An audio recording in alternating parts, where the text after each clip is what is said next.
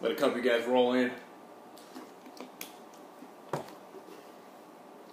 Get that field goal.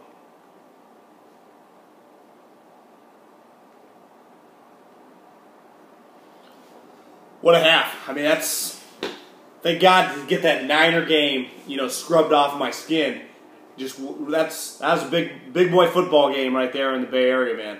Twenty to ten. I, I didn't see that coming. I thought the Raiders could win, but I didn't think they would thoroughly dominate the game. I, I think that's one of Latavius Murray's, given who they're playing, given the stakes. I, I think that's the best half of his career. I know he had the big run a couple years ago against Kansas City, but he, he's been fantastic. That run on third and one, busting that big run, but just physical at the goal line. The touchdown that was called back.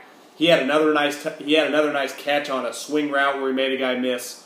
Bill Musgrave is absolutely calling a heck of a game. That that was a that was a big boy half. That that, that was pretty special by by Musgrave.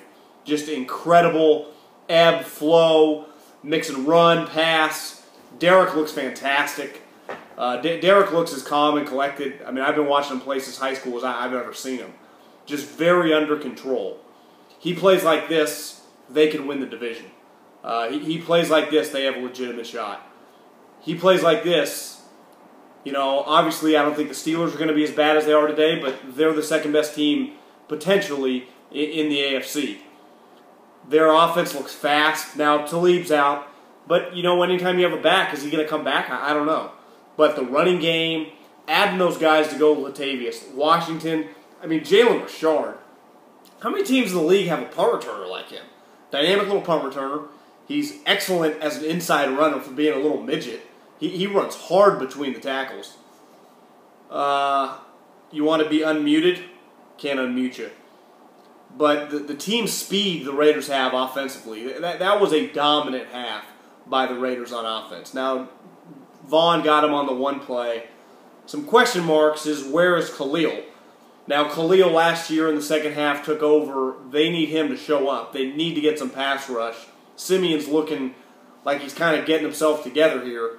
Made a couple great throws on the one drive where they hit the blitz, and Siemian hit Demaryius down the sideline.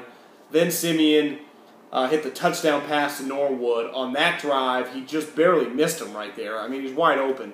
If I'm Gary Kubiak, I'm going in at halftime. I am going after TJ Carrie every fucking play. He can't cover you one on one, especially when it's against Emmanuel Sanders. He's not a very good player. Uh, he's just not fast enough. I would go at him every stinking play. You have to give him help because he cannot cover one on one. He, can't do it. He cannot cover one on one. Luckily, Siemian, and this is a great part about the division, is besides San Diego, you get Alex Smith and then this.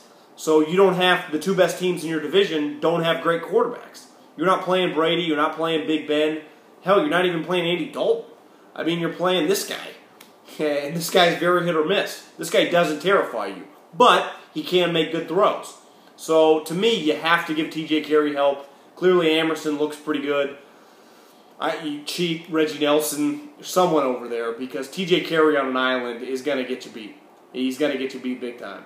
But the offensive line, I would give my game ball to the offensive line that first half. They were fantastic. Jamize Olawale, I said it on Twitter, he might be one of the more underrated players in the league.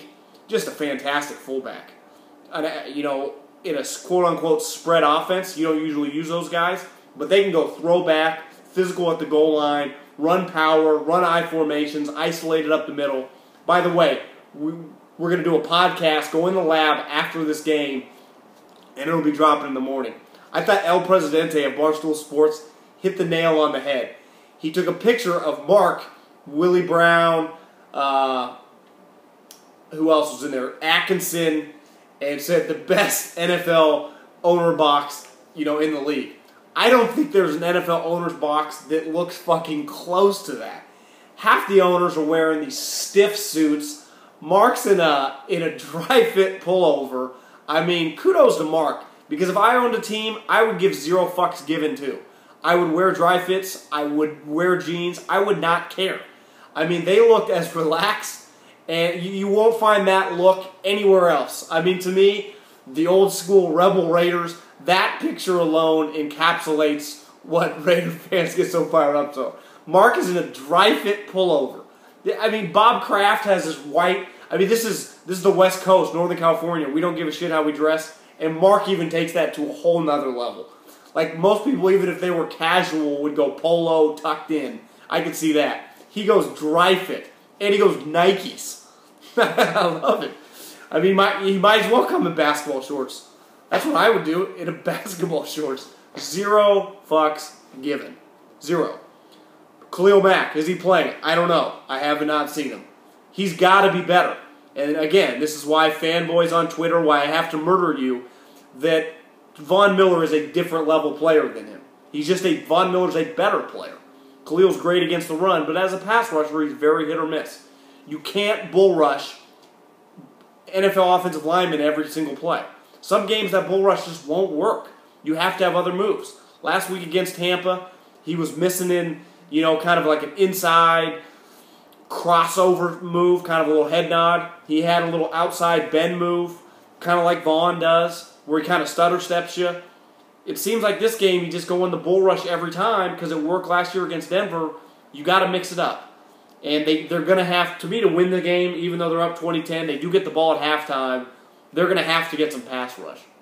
They don't need five sacks out of them, but they're going to need a couple sacks.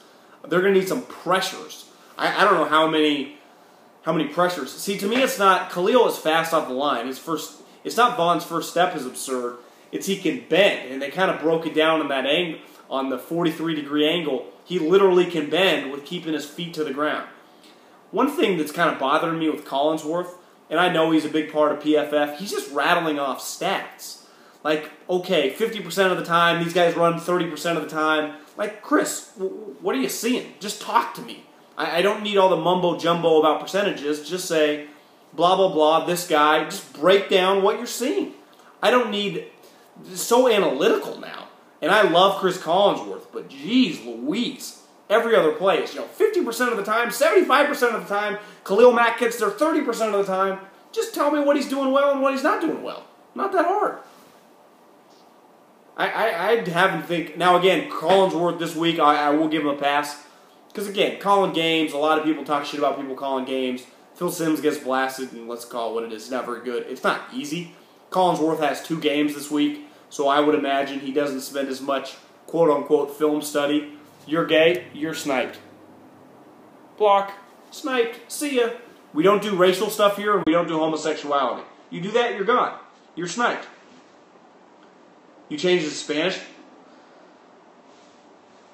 But th- this would be you win this game if you're the Raiders. You start to get talked to as an AFC, a legitimate contender, and you're in the driver's seat for the division. I will American if you say homosexual stuff or racist stuff, you're gone. I'm all for making jokes about whatever. You can make fun of me, but you're using you're gay, you use racist stuff, you're gone. See ya. Come on, be, be grown ups here, people. On an immature level. Uh, adjustments for the Raiders, I, I think they need to give TJ Carrie help. Because if I'm Gary Kubiak, I'm throwing at TJ Carrie every play. I'm throwing him every fucking play. The Raiders have dominated the run. Right before we got on here, I had 13 yards for Devontae Booker. I know uh, Bibbs had the one big run, but I, I, don't think they have over how many yards. I don't have the box score in front of me. 35 yards rushing. So if I'm Gary Kubiak, I, I'd throw the football. I would imagine they're going to get more aggressive throwing the football. Because if the Raiders can't rush the passer, they're going to have more time to throw the ball. The Broncos did come out slow. Props to the Coliseum tonight. It's rocking.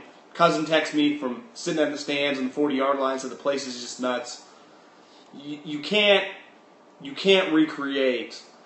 Mark didn't raise ticket prices, so you can have a a guy that can't afford to go to most games can go to these games. The energy, the enthusiasm, Candlestick was the same way. It's just not the same at these newer places. Too nice, too rich of a consumer. Let's face it, rich consumers aren't going to stand up the whole time in games. They're going to be the guy telling you, the guy in front of them, to sit down. Raider fans don't give a shit. I mean, the tickets cost fifty bucks. You can get in. You can get in cheap. Wade Phillips going to do for the opening series. I don't know. He's going to blitz if the Raiders get a touchdown here and you're up 27 to 10, that Jano miss was pretty big. Uh, people are hitting me saying, you know, blah blah blah, Jano. This is why we talked about getting rid of him. You, can't replace kickers. There, there aren't many good kickers out there. You can cut Janikowski. Who are you going to replace him with? There's just not very good kickers walking around the street. Where are those cheap tickets? I mean, they're all over the stadium. Season tickets cost you like 800 bucks. Stadium does look good. I mean, the place is a shithole, an absolute dump, but once you're in there watching the game, I've always felt this way. You don't really notice it. Same deal with Candlestick. I mean, the press box sucks, whatever. The seats suck. Once the game's going on, it's fine. People don't notice. It's football. This isn't baseball where you have 81 home games. I also think that way in basketball is kind of the same way.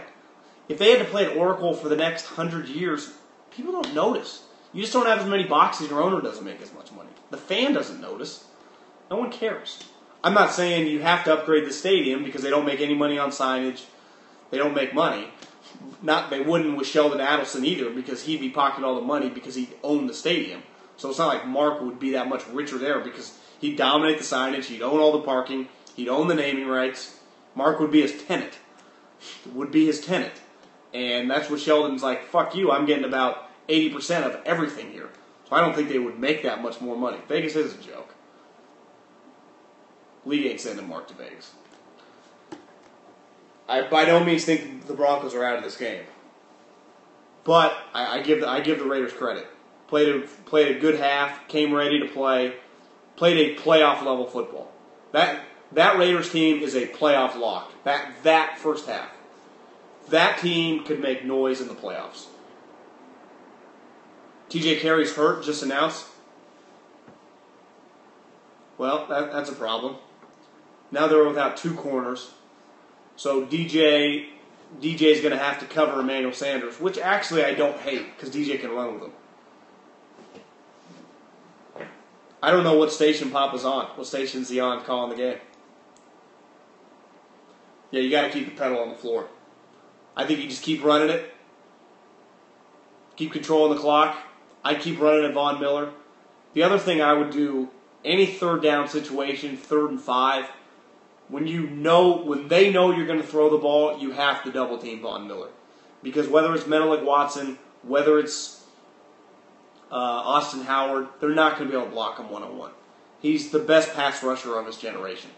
His speed move is literally unblockable. That's with a good player.